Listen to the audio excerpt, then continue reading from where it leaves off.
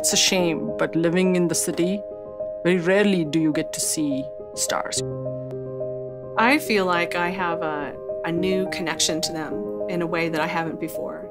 If I'm out in the desert and I look up at the sky, you just see millions and millions of places that we should be going.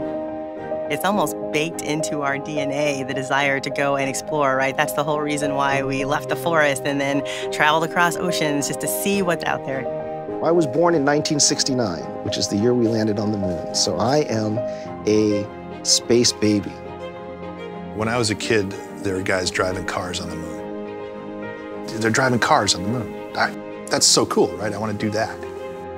All the rocky planets that we know of all have got a metal core in their center. And especially for the Earth, it's the source of our magnetic field. We don't know a lot about our core. What we've learned about it, we learn indirectly because we can't go there. It's too hot, the pressure's too high, our instruments would melt. Can't drill a hole that deep in the Earth or other planets. It turns out we can study a planetary core out in space because there's this one object, it's one object called Psyche. 16 Psyche is an asteroid that orbits the sun out between Mars and Jupiter. It is the only asteroid that we're aware of that is 95% metal or more and is really huge. It's about 200 kilometers across in one axis. So it's about the size of Massachusetts.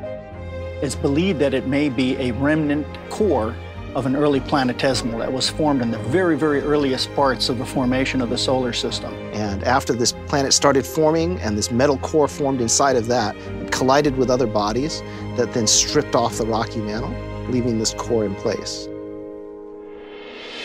The first thing that came actually was the theory. Some people from Jet Propulsion Laboratory contacted me and said, we would like to plan a mission that would test your hypotheses.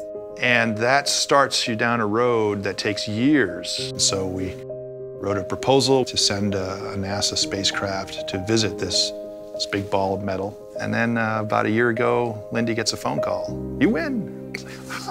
and then we're all like, oh my God, now we have to do it. Psyche gives us the opportunity to visit a core, the only way that humankind can ever do. And it would be the first metal object that humankind has ever visited. We've been approved to go in August of 2022. So we talked with our mission design and navigation team, and in fact, they were able to come up with what is probably the most optimal trajectory, doing a Mars flyby. Flies past Mars, gives us a gravity assist, uses that propulsion system to then slowly creep up toward the end of 2025, getting there in, uh, in early 2026.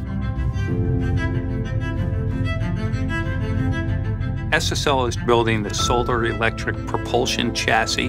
When we do the mechanical, physical integration of each instrument on the spacecraft, we'll work hand in hand with each of the providers to get out to Psyche and do a full discovery mission.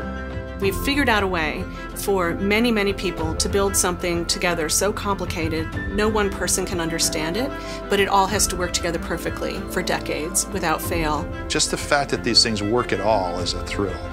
It's just a testament to the engineers at JPL and the companies that we collaborate with uh, that they can build these things. It's exciting for me to be able to be a woman winning and leading a deep space mission. The only previous woman who competed, won, and led a deep space mission was uh, Maria Zuber, who was my friend and mentor at MIT. And so my drive is to make everyone feel welcome and to have every voice heard. We want as many undergraduates as we can. We want to involve as much of the public as we can. We want people to feel like this is their mission. You get that first picture back, and you know, one of the first things that goes through your mind is, oh, thank God I didn't leave the lens cap on. We will put our pictures out there as soon as they come down. So we'll discover at the same time that the public discovers. We'll be scratching our heads and it's like, I, I don't know what's going on. Same time everybody else is like, wow, that, what is that? I don't know, let's figure it out. I did get to look at Psyche through an optical telescope in my backyard. Some wonderful colleagues brought over their telescope on a fortuitous night. It's a very, very tiny faint dot.